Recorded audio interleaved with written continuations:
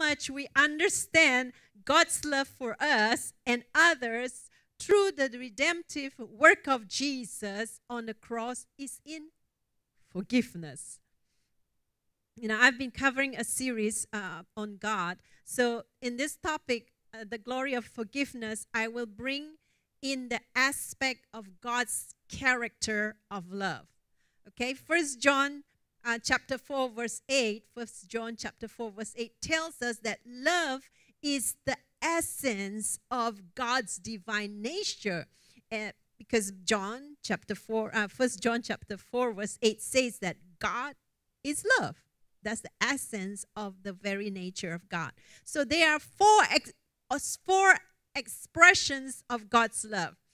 Four expressions. And the first one is grace. We hear a lot about grace but i want I want you to um, um, really consider the grace that um, that God sees it as it is. You know, because there are all kinds of teaching about grace today. Um, it's not quite complete, but I'm not saying I have the complete thing. Um, but I'm saying that we need to understand grace as the way God intends it to be. So in the Old Testament, we don't actually see the word grace, but we see the expression of God as merciful and gracious. So that was grace in the Old Testament. Uh, in the New Testament, the word grace, the word grace is especially connected with the manner of Christ's life and his sacrificial death. I want you to see the connection of grace here, okay? Because that's very important for how we look at grace. So, the word grace in the New Testament is connected especially with the manner of Christ's life and his sacrificial death. Here is the highlights. The, this is where it highlights the aspect of God's love as self giving regardless of merit. That is that kind of love. So, forgiveness for the person who wrongs you has this important aspect of self giving to the person who wrongs you, regardless of merit. Do you see the connection of grace here with forgiveness? Now, the next expression of God's love is mercy. Mercy embodies itself especially with compassion, long suffering, and forgiveness. In mercy, God remembers his covenant with us.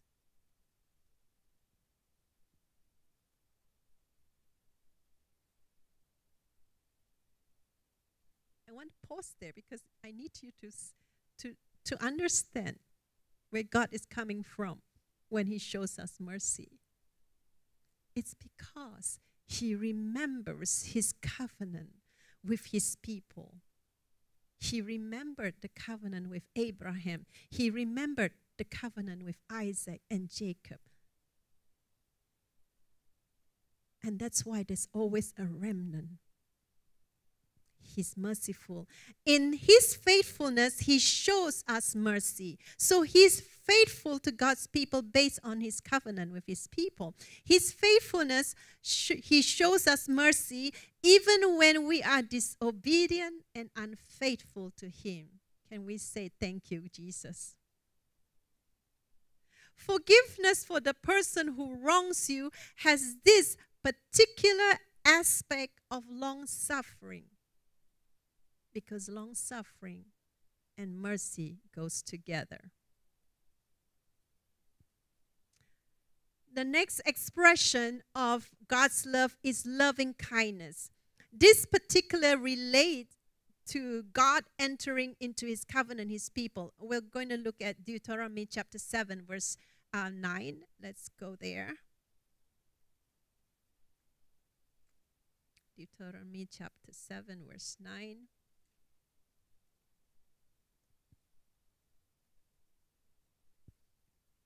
Therefore, know that the Lord your God, He is God, the faithful God who keeps covenant and mercy for a thousand generations with those who love Him and keep His commandments. So it's very interesting that today Bill chose that um, uh, reading from Deuteronomy chapter 28 if we are willing and obedient, all that is tied to his covenant with us. So, this loving kindness is the steadfast love of God, unshakable. So, it's interesting that Gordon chose that song, you know, Unshakable God, enduring for a thousand generations. Wow. Wow. For those who love Him and obey Him. There's always, we always think that God does not, you know, God's love is unconditional.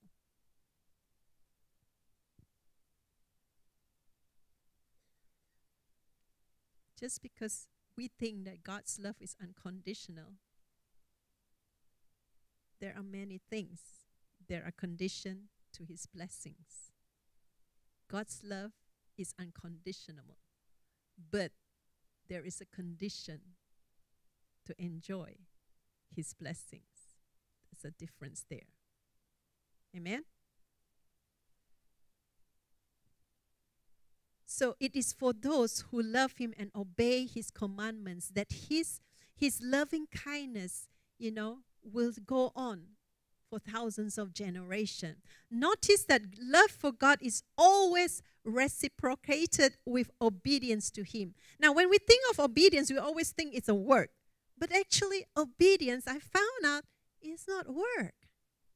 Because I realize it is a love response to him the more I love him, the more he tells me to do something, it, it doesn't become work anymore because I enjoy it. It becomes part of me to love my God back. It is a nature developed by the Holy Spirit on the inside of a believer, the obedience, you know, um, to God's love. The gift of the Holy Spirit is, sorry, gift of the holy spirit which is god's spirit himself is the grace of god for us. So god's god gave us his spirit and that is his grace to us.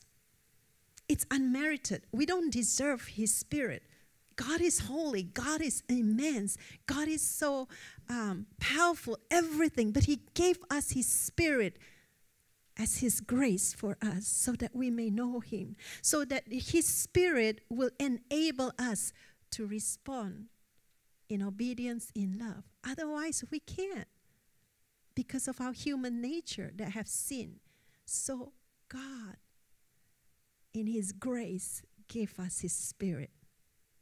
I hope you understand, grasp that because it is so powerful once we understand that the gift of the Holy Spirit is God's grace for us, so that the grace of God, you know, the Spirit of God within us, can accomplish what he intends uh, for us to accomplish. And so the blessings come for come start flowing.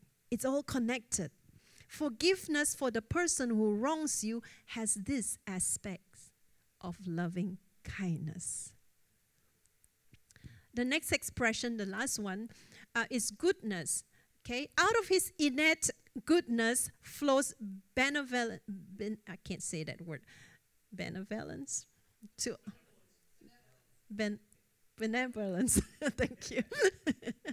we get all this, um, all the, the different languages I have up here, so sometimes I just can't say it quite right. um, to all creation, Jesus is the good shepherd. Okay, he, you know, in John chapter 10, he talks about Jesus as the good shepherd. The goodness of God, regardless of any circumstances that may seem evil, will prevail for those who love him and are called according to his purpose. So again, you see there is that part of that we need to respond to God, to love him and to be called according to his purpose. And the exciting thing here is that he gives us his spirit to be able to love him and to do according to his purpose. Hallelujah. So um, that, that, um, that is from Romans chapter 8, verse 28, if you're taking notes. Um, forgiveness for the person who wrongs you has this aspect of pouring out goodness in spite of the difficult circumstance. Hmm. You know, when God taught me about forgiveness, and I'm thinking, whoa, I have no idea what forgiveness is. because forgiveness of God is really the expression of all this these four things in God, you know, the grace, the mercy, showing grace, showing mercy, showing loving kindness, showing goodness. That is the power of forgiveness, the glory of forgiveness. Hallelujah. Hallelujah. It was kind of hard for me to do this, um, you know, put it all like it's flowing, you know, because there's so many angles. So I'm going to just give you um, few, few um, subtitles, you know, to, to um, teach uh, more in depth about forgiveness. So, manifestation, the first uh, subtitle I gave here is Manis- Manifestation of the Loving of Kindness of God in Forgiveness. And we're going to read Hosea chapter, nine, uh, sorry, chapter 2, verse 19 to 20. Hosea, you know, um, you know, in in a in in the Chinese dialect that uh, we know, you know, they used to tease when we say uh, Hosea, so they don't say it Hosea, they say Jose. Jose means it's really good. Everything is fine. that's so that's not huh? Hosea ch- chapter 2, 19 to 20. Did I miss the joke there? Oh, in Chinese. Oh, uh, in that particular language, um, we say Jose means everything's good. That's the meaning.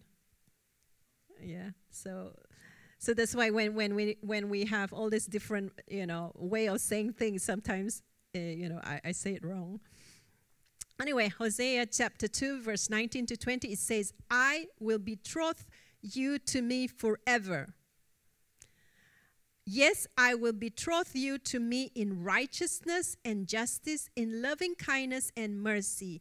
I will betroth you to me in faithfulness, and you shall know the Lord. So, when we entered into the covenant with Jesus Christ, I mean, with God through the blood of Jesus Christ, we he entered with us, okay, into this covenant in righteousness, in justice, in loving kindness, mercy, and faithfulness. All of that, he entered into this covenant with us. Hallelujah. The book of uh, Hosea speaks of a one sided love and faithfulness relationship. That's hard.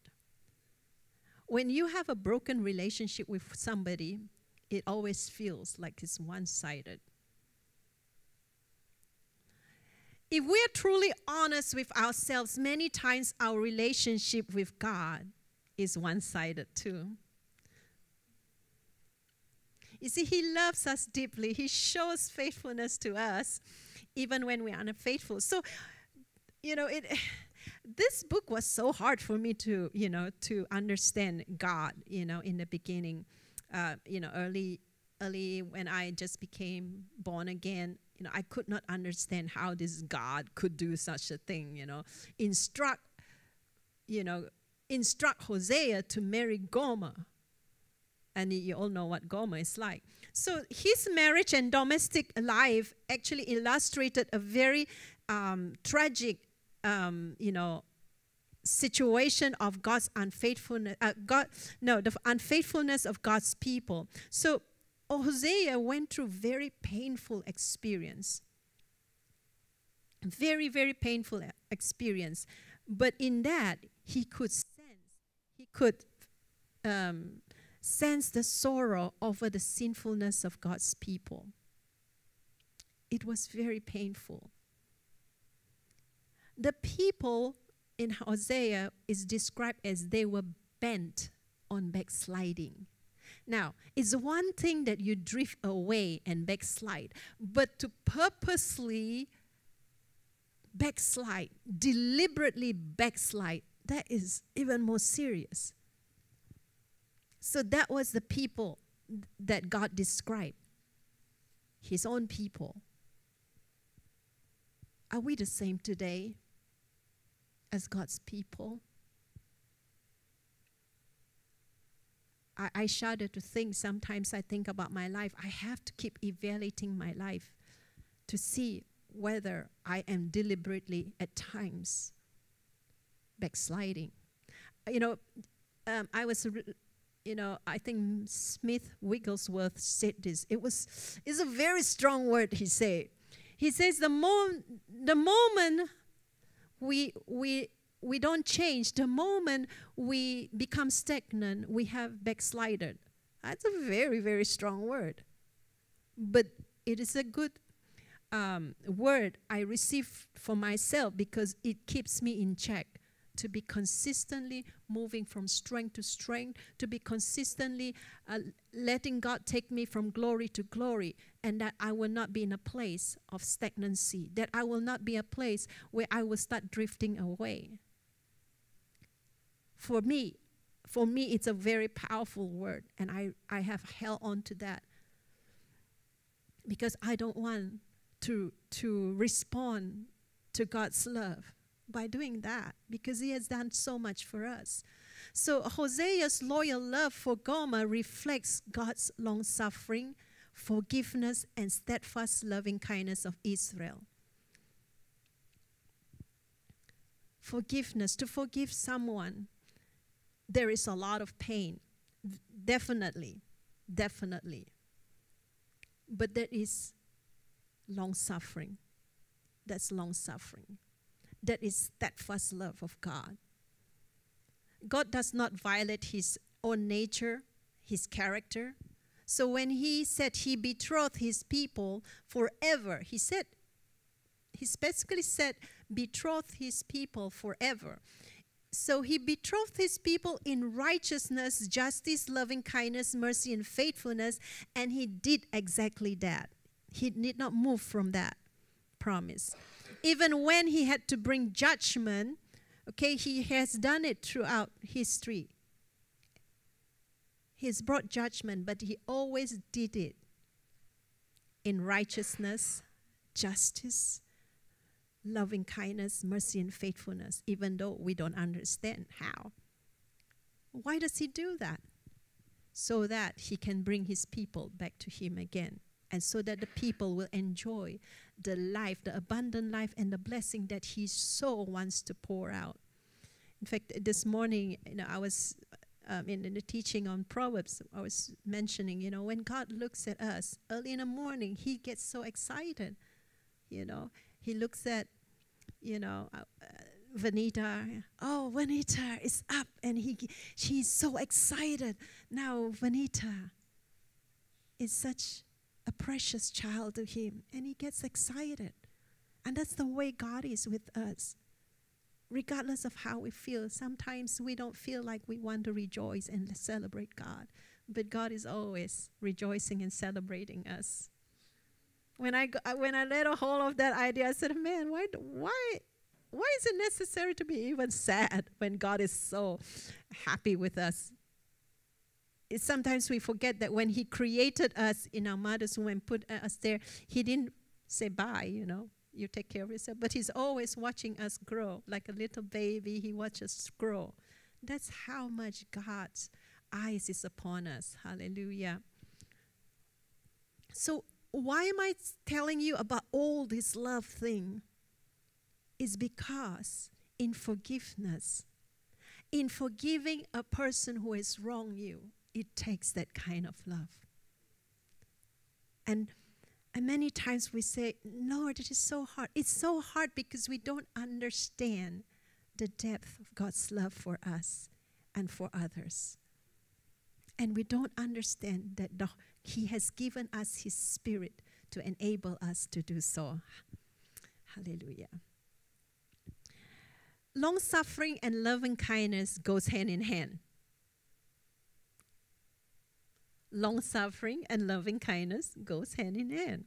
When a person wrongs you again and again, these are the nature the Holy Spirit is, you know, has to develop in you in order for you to forgive from the heart. You know, not just one time, but 70 times seven, you know. Um, that doesn't mean like, I don't know, 70 times seven, how much is that? Huh? 49. 499. It doesn't mean that after you've forgiven that person 419 times, that's it. it's just a descriptive term that means, you know, you keep doing it. True forgiveness from the heart is not characterized by the torment of the mind. If you are still tormented in the mind about somebody, you have not forgiven that person.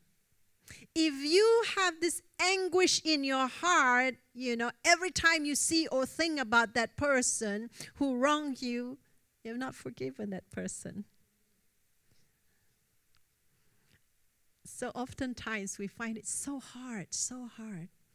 Why it's so hard? Because we are trying to forgive somebody in our own strength, and God never intended for us to forgive somebody in our own strength.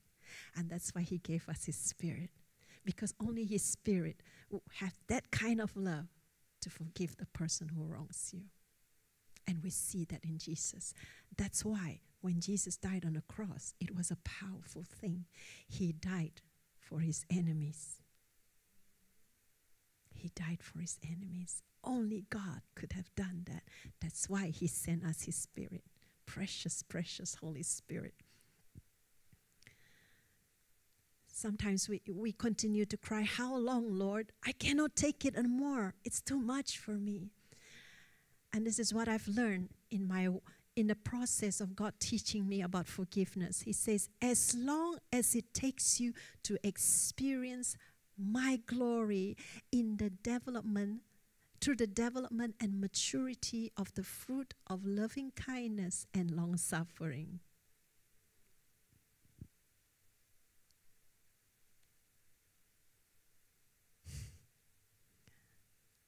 It wasn't easy. It wasn't easy. But I realized all fruits take time to develop to maturity. So does the fruit of the Spirit. So I want to stress again that God gave us His Spirit, and His Spirit in in um, in the Spirit of God, you have He has love. Okay, if you know the, the nine fruits of the Spirit, you know that there is love, there is joy, peace, patience, kindness, goodness, faithfulness, humility, self control. So, because the, the, the Spirit of God has all this inside Him, He's able to help us produce it. But it takes time. Why? Because our carnal nature still wants to fight we still want to, to hold on to some of these things. In fact, in fact, sometimes I, there is this, I don't know, is it perversion or something? Sometimes we just want to be angry because it feels good to be angry. You have hurt me. I'm going to stay a little while and stay there and get angry. we sometimes enjoy it. And that's why the Holy Spirit has to take time to deal with us. If we say, okay, I've sinned, you know, I've sinned, uh, this is not the way I think, I should think, then the Holy Spirit has an immediate access instead of having to wait for you. Because the Holy Spirit is a gentleman. If you don't want it, He's not going to force Himself on you. So, the, how fast the process we go through to bear the fruit of long suffering and kindness depends on our, willingness to yield to Him. So both um, Jesus and Hosea walked in the same steadfast love of God, long suffering and loving kindness. Hosea, I mean, he's amazing. The wife keeps running away, he keeps taking her back. And the same with God. We keep running away from God, and He keeps bringing us back to Him. It's so good. So both Jesus and Hosea manifested the long suffering and loving kindness of God, and thus they were able to walk in the forgiveness that God has shown the next subtitle I want to, uh, uh, you know, um, bring up is experiencing the glory of the risen Lord in forgiveness. Experiencing the glory of the risen Lord in forgiveness. Hebrews chapter 2, verse uh, 9 to 10. Hebrews chapter 2, verse 9 to 10.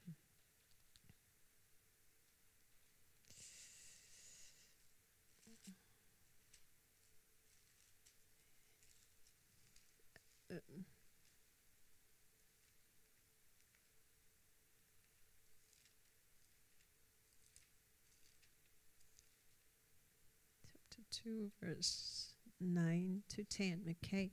But we see Jesus, who was made a little lower than the angels, for the suffering of death, crowned with glory and honor, that he, by the grace of God, might taste death for everyone.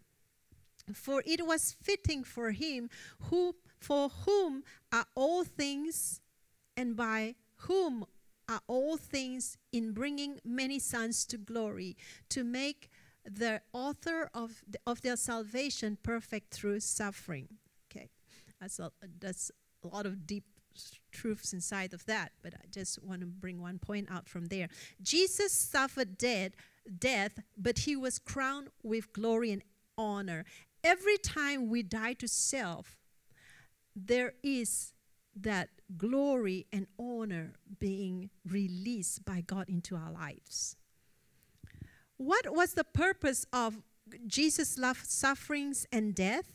Now, I, I was so excited. She says in, in that verse, verse 10, it says, Because he wants to bring many sons like us, like you and me, to glory. So that's the purpose. Let's look at 1 Peter chapter 4 verse 12. 1 Peter chapter 4 verse 12 to 17.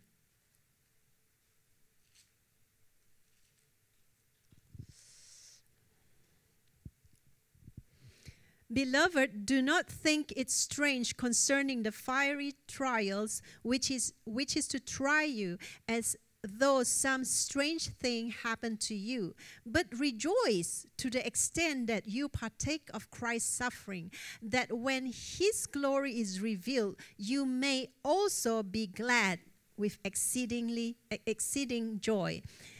If you are reproached for the name of Christ, blessed are you, for the spirit of glory and of God rests upon you.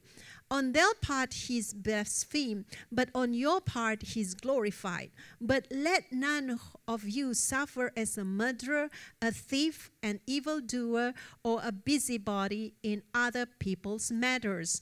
Yet if anyone suffers as a Christian, let him not be ashamed.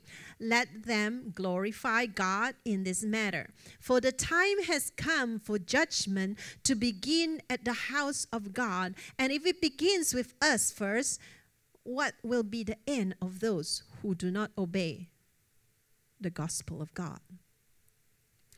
So, from this passage here, I want to point out a few uh, different things. Now, I want to connect the pain of being wronged by someone with the anguish of knowing we have to, be, you know, as believers to forgive, but we find it hard to forgive. So that's the connection I want you to, um, yeah, um, to, to consider. So the first thing from this this passage I want to bring out is that we must not think it is strange and, and be surprised by all these fiery trials. We live in a fallen world.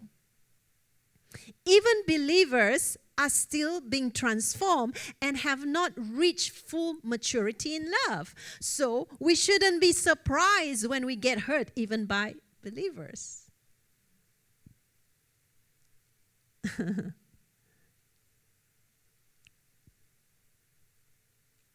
Second, point I want to bring up.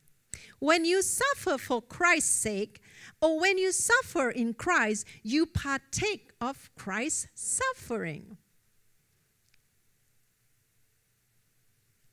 That's the glory.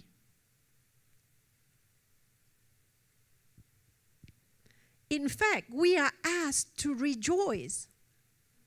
You see that? Verse 13.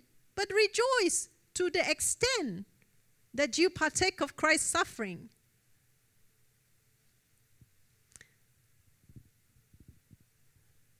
Why? why did why did Paul say that we need to rejoice to the extent, you know, we partake of Christ's suffering? As from uh, what we read earlier, Christ's glory will be revealed. Okay? So Christ will bring many of us, meaning believers, to glory. You see, many times we want to see God's glory in His brilliance. But you see, God not only wants us to see His glory, He wants us to experience His glory. This experience comes only by partaking in Christ's suffering. Uh oh. uh oh.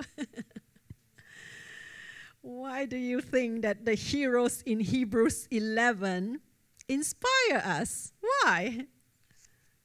It's because we see the glory of God in their obedience when it's so inconvenient. We see the glory of God in their sufferings and even in martyrdom. The glory when I saw God's glory this way, I thought, oh, oh man. We've only seen God's glory in a certain, certain angle. Fourth point if we have not suffered because of our sin, as those listed there in, in verse 15, as a murderer, okay, Jesus said in the, in the gospel, you know, you don't actually murder somebody, but if you, you are having thoughts against a person, it's almost equivalent to murder, okay? And if you're not a thief, you're not an evildoer or busybody in people's matter, um, you know, busybody inclined to gossip, to slander, you know, and, uh, and, and in Proverbs it talks about such people that they separate brethren and close friends. That's a serious matter. So if you have not suffered any of those, uh, you know, because of any of those, then we don't have to be ashamed of our sufferings. Sometimes when we suffer, people who don't understand what God is doing in our lives, they are very unkind with what they say. Oh, I think he's sinning against God. Oh, I think he, she is sinning against God. But how do we know?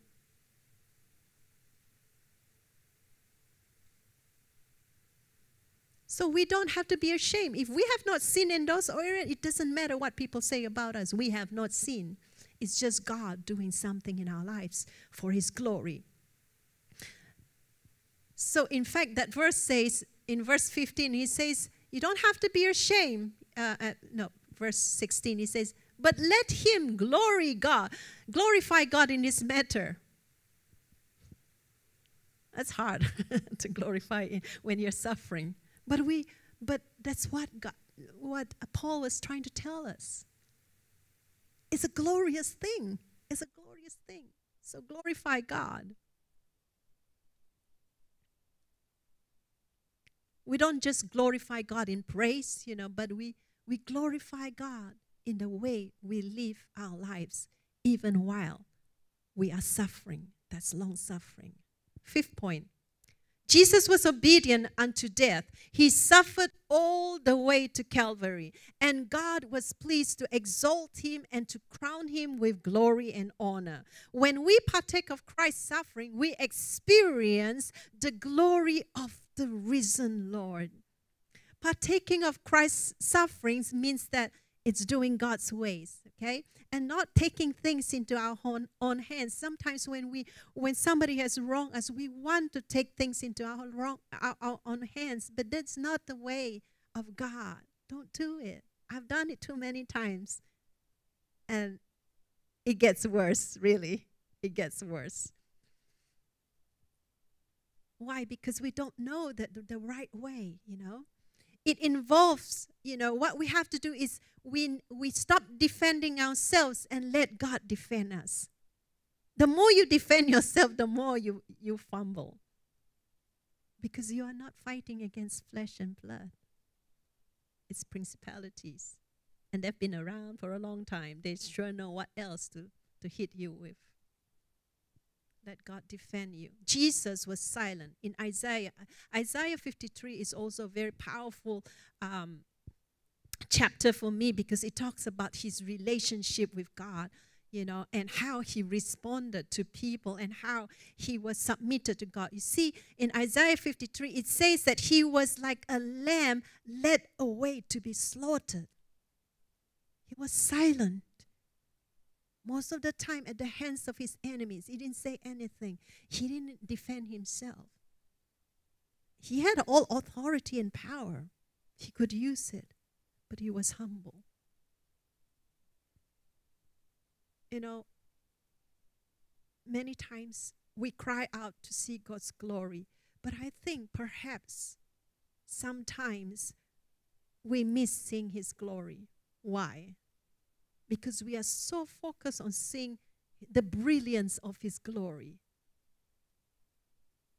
but we don't see the necessity of experiencing His glory through the partaking of Christ's suffering. So I realize that everything, because God is sovereign, everything I go through, if it's so, so much suffering, and it is not because I've sinned against God, that God is trying to help me experience the glory of the risen Lord.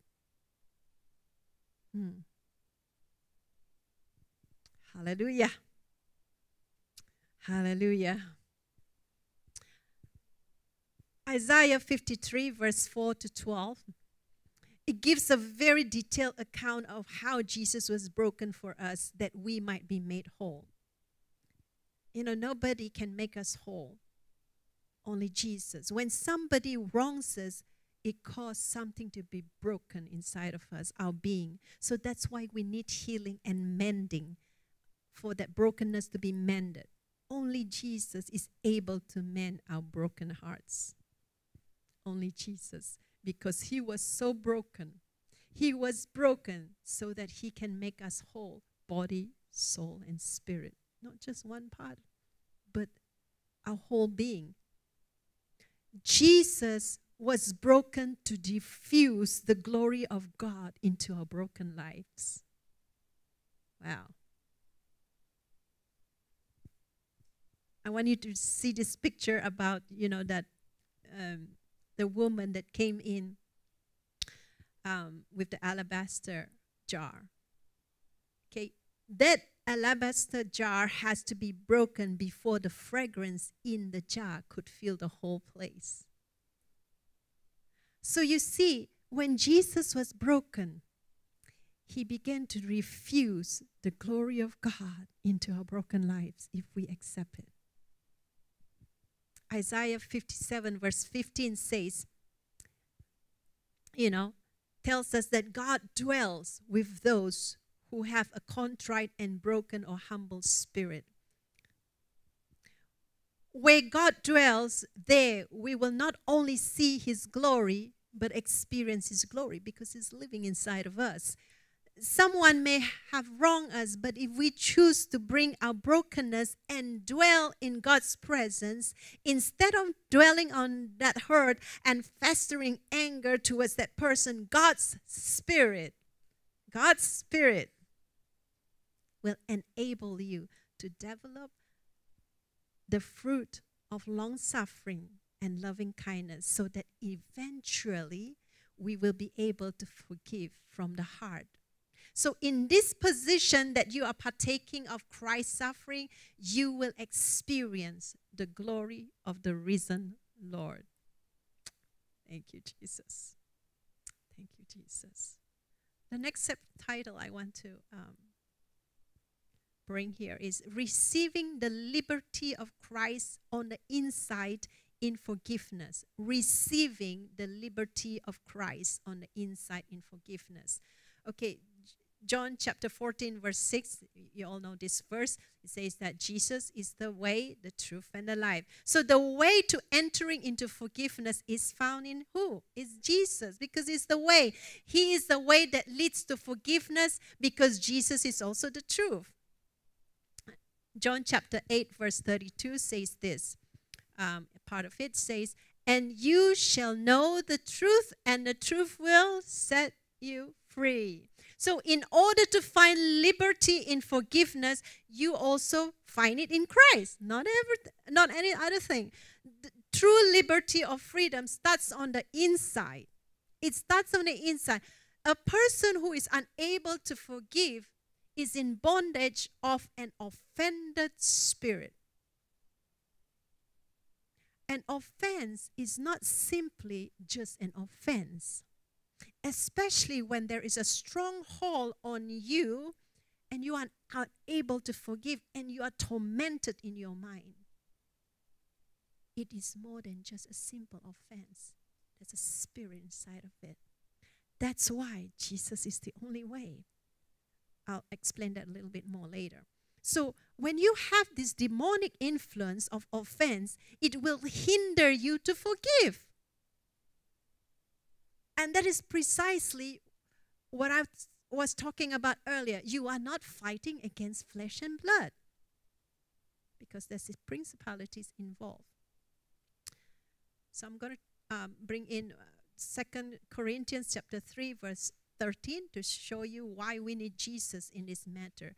Second Corinthians chapter 3 verse 17.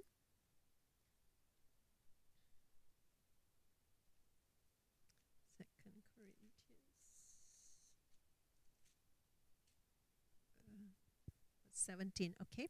Now the Lord is the Spirit, and where the Spirit of the Lord is, there is liberty. Hallelujah. So, because of that, because that Jesus is spirit, he is able to pervade the spirit of offense, hindering you or holding you as hostage, holding your spirit, holding your soul as hostage. So, Jesus as spirit can pervade into it and set you free from the bondage and its torment. So, we have to choose. Like I mentioned earlier, we, we have to choose the way of Jesus. We can't do it our way. We cannot do it by human way. We have to do it God's way. So it means again, um, you know, um, just to bring it up again, it means choosing to bring our brokenness when somebody have offended us have wronged us we need to bring our brokenness our pain and dwell in the presence of god instead on dwelling on our hurts in our minds and festering anger. It is a discipline.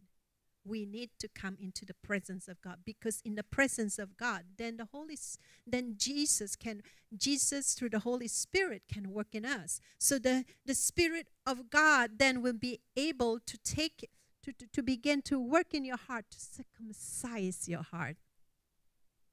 Circumcision is painful. But that's what He's doing in us when we bring our brokenness to Him and said, I will do it your way, Lord Jesus, your way and your way alone. And His way, many times, involve a circumcision of the heart. Because the law is not like outside now, He's putting the law inside of us, and we need circumcision. So, in this position, you are choosing Jesus as the way and the truth that leads to freedom on the inside.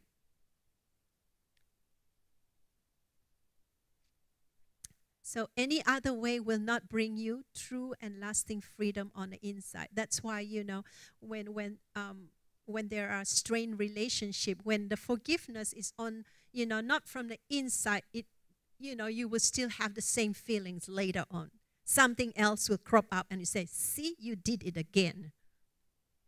and then you get upset. But if forgiveness, that thing has been already circumcised, you have been circumcised in your heart, the fruit of long suffering and, and loving kindness has been, you know, developed in your heart to maturity. When a person hurts you again, you don't say, There, you did again. It's over because you already have it inside of you that loving kindness and long suffering of God. That's that's that's why you know, um, when when God was telling me different things about loving again and again, it was hard. But now I understood. When I have gone under His operation table. uh, and now, when the same person hurts me again, it don't bother me no more. Because that long suffering and loving kindness God has already his gift of the Holy Spirit have you know matured in many ways. Of course, then they will have God will. You know, I always say now I'm in the refining process. You know, you know the, the time where He takes you as a, a, a you know a, clay. You know, and then He he throws you down, picks you up, again, shape you. But it seems like I'm in this point of my, my, my, my walk with God is the refining process where He's already carved this, made this, um, uh, this shape, you know, of a vase, but He's carving out details in my life. And it's still painful because you go through the fire again and again and again. So I don't know. What state are you? Regardless whether you are still the clay or you're still in the refining process, it is still painful. It is still painful. But stay there because the glory of the risen Lord you will experience. Um, where am I? Okay, I, I, I wanted to bring an illustration from Matthew chapter 18, uh, 27 to 35. Okay, I'm good for time. Uh, Matthew. This is a parable about that the king and that uh, particular servant. Okay, I, I think I won't read all of it, but if you want to, you may while I'm I'm uh, teaching it. The servant in the parable, 18. Yeah, Matthew 18, 27 to. 20, oh, oh yeah, yeah, 23 to goes all the way. But I'm just pick, picking up a few things here. Okay, so so this this servant had you know owed the, the king a lot of money. So it's a lot of money. But you know the king forgave him. But you see the moment this servant went out he found a servant who owes him so much little you know very little. And he could not forgive the servant. In fact he threw him in jail. And so this this man you know just show that this servant that was forgiven by the king was freed outwardly of a great debt, but he was not freed on the inside. Because how do we know? Because he did not understand the loving kindness of the king. And so he wasn't changed on the inside. When we understand the loving kindness of God towards us and how much he has forgiven us, then when a brother has wronged us, anybody who have wronged us, that forgiveness if we understand the loving kindness of God, we will be able to show it to another person. So instead, he held unforgiveness because he did not understand the loving kindness of the king and had no fruit of long suffering and loving kindness to offer the other servant. So an offended person cannot who cannot forgive is not free on the inside. So if you can't forgive, there's something on the inside that God wants to work on. So if he or she is a believer, they do not know the depth of the loving kindness of God and the freedom that Christ has bought for them on the inside. We are born again of the Spirit of God. It's inside job. Well, that's not quite a good good term to, to use, but you know what I'm saying.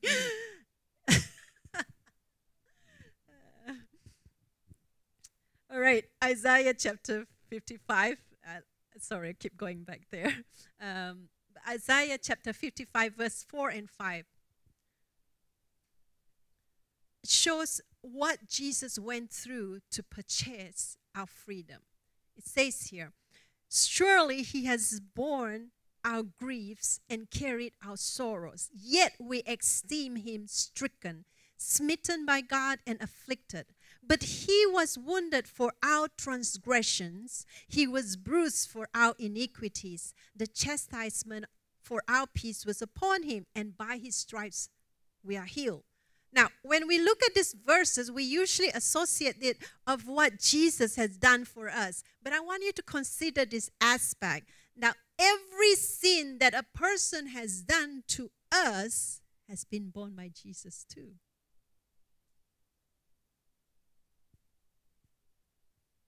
So many times when a person wrong, we cry out for justice. We want God to, to revenge on our behalf, you know. and then when God began to show me, you know, in for, you know, teaching me about forgiveness about this, I'm thinking, whoa, wait a minute here. Here is a picture of Jesus, you know, taking the place of the one who wronged me he was so afflicted so that I could receive the justice that the person has done wrong. You know, I want God to avenge me, but you see here, it pleased God to bruise him, to bruise Jesus on behalf of the person who wronged us. Do you see how much God has loved us? So in this in that respect you are avenged. So the question here, you know that you know this is questions that God has actually asked me. So I'm going to to you know ask you. How much more justice and revenge do you need for the person who wronged you? After what Jesus has done on the cross for you, for that person. How much more? Is the suffering of Jesus not enough for us? The suffering that, that Jesus has, has you know, done in the place of the person who wronged us, is it not enough for us? Are the stripes of Jesus, are the stripes on Jesus' back not enough to satisfy us? Are the nails on his hands and his feet not enough for us? Is the blood of Jesus that he shed not enough for us? Jesus paid in full the sin and the wrong that was done to us. Jesus. It satisfies God the Father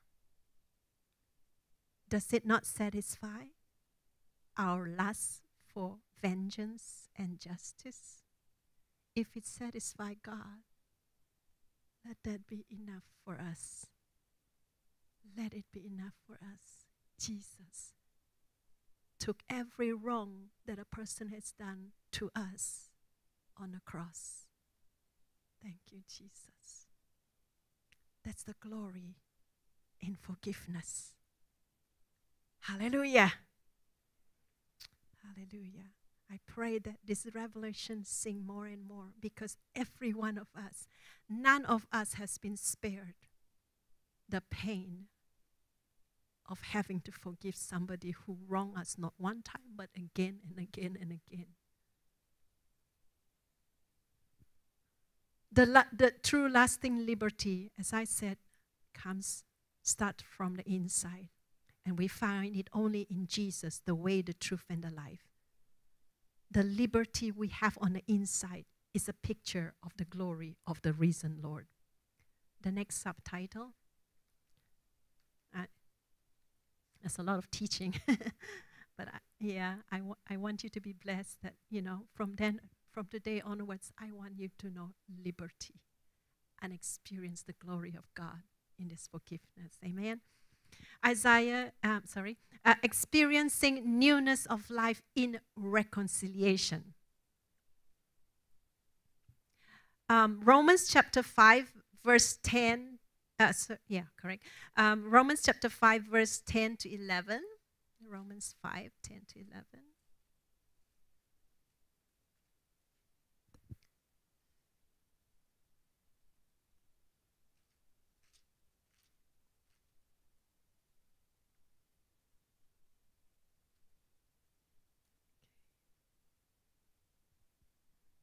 For if we, when we were yet enemies, were reconciled to God through the death of his Son, much more, having been reconciled, we shall be saved by his life. And not only that, but we also rejoice in God through our Lord Jesus Christ, through whom we have now received reconciliation. And I want you to look at uh, Ephesians chapter 2, verse 16. Ephesians 2, verse 16. Um, it says here, that he might reconcile them both to God in one body through the cross, thereby putting to death the enmity. You see, unforgiveness is wrapped in death because it brings separations, separation and darkness. Sin brought separation, not only between us and God, but one another. Sin always brings darkness. And when we and and, and you see, if we have unforgiveness, there's darkness. And when there's darkness, we cannot see things of God very clearly. Why? Because death, we are enshrouded in darkness and death, and we can't see. We can only see when there's light, and the light of Jesus Christ. Now, but when we forgive, death and darkness no longer has a hold on us. With reconciliation, we are no longer separated. Then there is light, no more walking in darkness that leads to death because the veil has been taken off our spiritual eyes. So that's why it's important for us to let the Holy Spirit work in us so that this unforgiveness will not veil us from the things that God wants us to see. Because many times we can't see the revelation of God because there is that veil. Now, in a position when you are able to forgive from your heart, then that is time you, you are ready to can reconcile. Many times we, we go, you know, I think I've just learned this. He said, don't, don't, you know, don't let the cart go before the horses. You know, I never knew that for a long time. I didn't quite know what it was until that day. what is that? You know, I think Bill explained to me. Um, so many times we want to reconcile before God has done something in our lives. And that's why it's important to, to dwell in the presence of God. Let God do what is inside of us first. And then the Spirit of God will help you to be ready. You see, if people who have wronged you, you know, when you are ready, but you, you know, the Spirit of God has prepared you to be ready to reconcile, and you go to a person eh, who have wronged you, and you and you choose to reconcile, then there is newness in that relationship. That's why the subtitle says that you know, um, experiencing newness of life in reconciliation. But if the person, the people that have wronged you choose not to be reconciled, yet because you are free on the inside, you are able to move on regardless. Hallelujah. You are able to move on because you have the newness of life in you and the glory of the risen Lord is now, you know, you are now experiencing you don't have to be manipulated by that spirit of offense in another person anymore because you have chosen the way of the Lord and the Lord has set you free. Hey, hallelujah. Because all this thing that, that the enemy wants you to feel is just manipulation of the spirit of offense.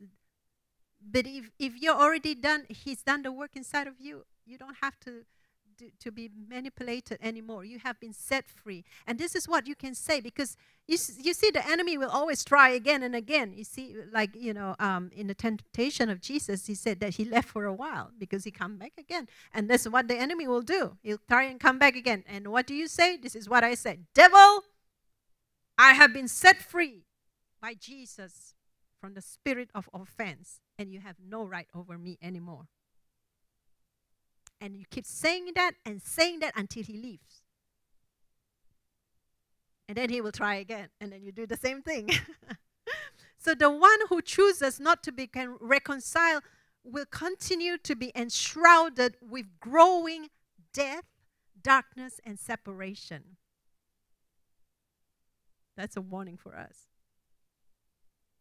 So eventually, when that person c- continue to have this growing death and darkness and separation because of unforgiveness, then they will be tormented by the devil. You see in Matthew chapter um, that, that Matthew 18, 34, 35, you know, we read earlier. I mean, we didn't, uh, uh I referred earlier.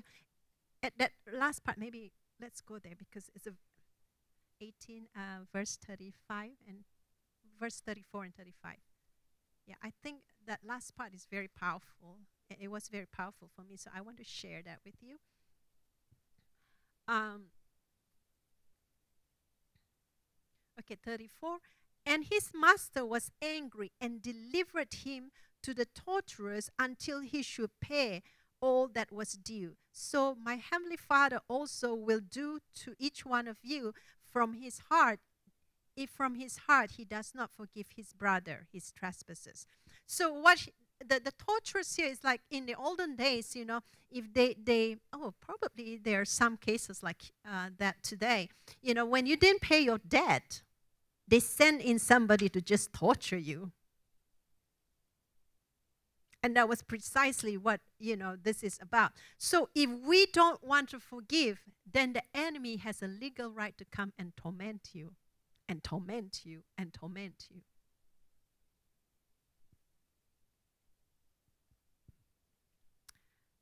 As believers of our covenant with God, we have to understand this. Um, it's, it's, it's a very powerful revelation that I got, you know, that really changed the way I, I, I treat the body of Christ, you know, in, in, a, in a greater way. Um, you see, as believers of our, as believers, our covenant with God means that automatically any believer who is covenant with God, we are in covenant with.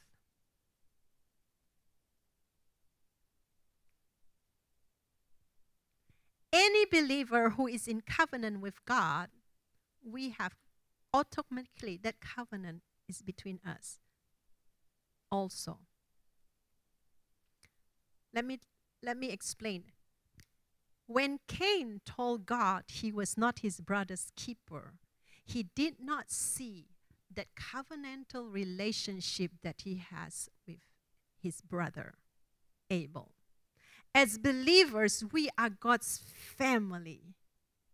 Now, this is where I want to illustrate about the covenant. As believers, we all become part of God's family.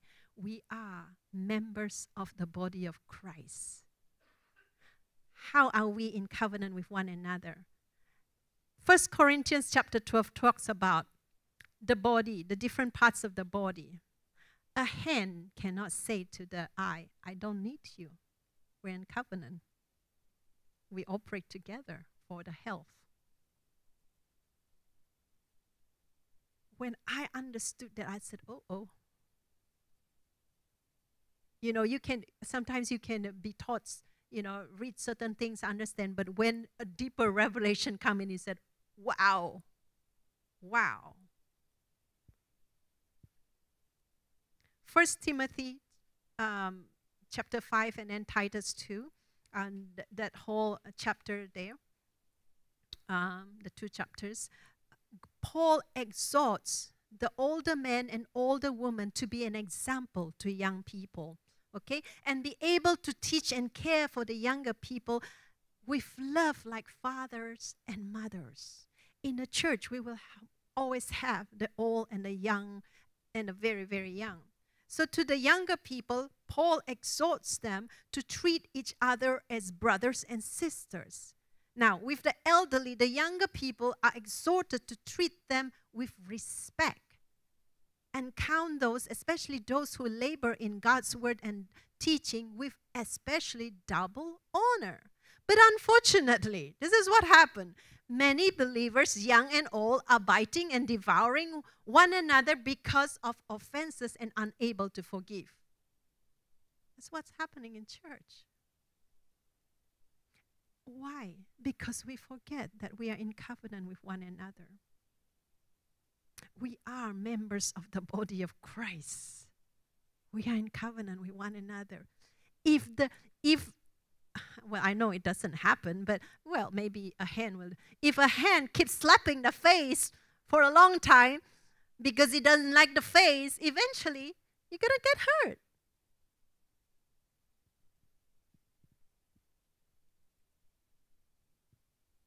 So when all these things are happening, the biting and devouring of one another, then the fruit of long suffering and loving kindness is not developed to maturity in the church. The covenant that we have with one another in Christ is stronger than family ties.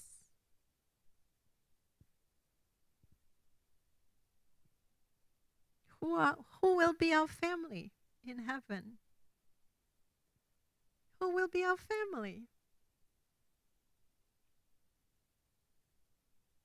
The ones in Christ. The ones who believe Christ. The ones who accepted the covenant through the blood of Jesus Christ. So our covenant in Christ, you know, is stronger than family ties because it's sealed with the blood of Jesus. It's sealed with the blood of Jesus. So every broken relationships affect our covenant with God and one another.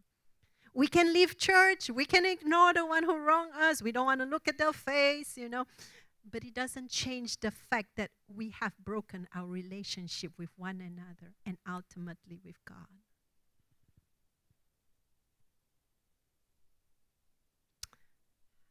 Amen. Amen. Colossians chapter 1 verse 20.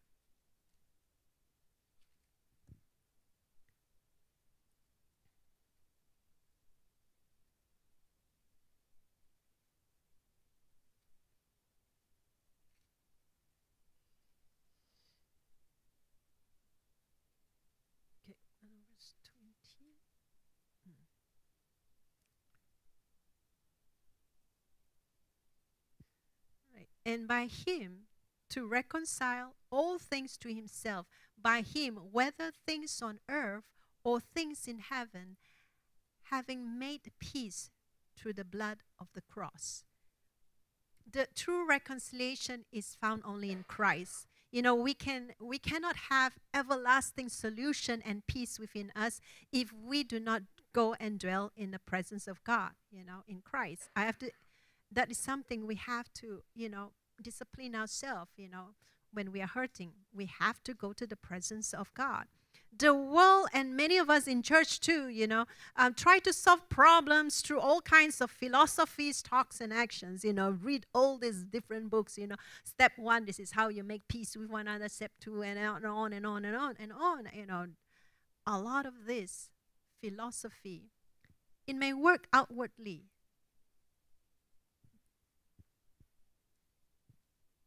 but it does not deal with what goes on on the spirit, in the spirit and the soul of man. And therefore, peace will never be everlasting. Look at what is going on in the Middle East. They've been trying that for years. Years and years. And look at all the different situations about tribes. For years and years, certain tribes keep fighting. Because every a lot of the situ- solution came from outside. I can't remember, but there's this one wonderful uh, testimony, you know, but I, I won't quote that because I don't really remember exactly what it is. But it, it, this tribe, once it laid a hold of what Jesus did, you know, the reconciliation that only comes through Christ, you know, there was, there was, um, the, the two different tribes were able to reconcile, and it was a reconciliation that was lasting. That's a time ki- kind of reconciliation that we want, you know, not temporary or face value kind. Um, all right. So when when we allow when we run to God, you know, and we humble ourselves in the presence of God, we dwell in His presence and let God do the work that He needs to do so that we can be reconciled, you know, to Him. Because every time we sin, it doesn't matter if other wrong us. Every time there's a separation, you know, there there is that separation with God too, in a sense. So we need to run to God. And so when we run to God, if we are at fault, also, He will show us. Because sometimes people are have wronged you, maybe partly because you have also done something wrong. So let God you know, by His Spirit begin to show you. Now, if if you are not at fault, but yet you continue to yield and humble yourself, then the Holy Spirit, in either case, will be able to develop the fruit of long suffering and loving kindness. So by the time you leave the church today, you will keep hearing this word long suffering, loving kindness, long suffering, loving kindness. so First uh, Colossians chapter 20, the, the verse that we have read, it says that Jesus reconciles all things to himself and brings peace through his blood. So that's true reconciliation. So our confidence, regardless of what people have done to us or wrong us, when we choose to accept reconciliation, we are reconciled to God through Christ and the gift of peace of the Holy Spirit will be given to you. In that way, you are experiencing the newness of life in reconciliation in Christ.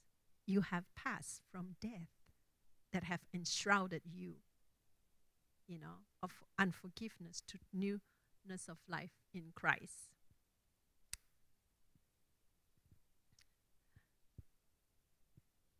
To summarize, let us choose God's ways in forgiveness. Partaking of Christ's suffering, we experience the glory of the risen Lord. And true lasting liberty on the inside to forgive is found only in Jesus Christ, the way, the truth, and the life. And we do, when we do it God's way, we will experience the newness of life in reconciliation in Christ, even if the other party didn't choose to reconcile. Hallelujah. This is the glory.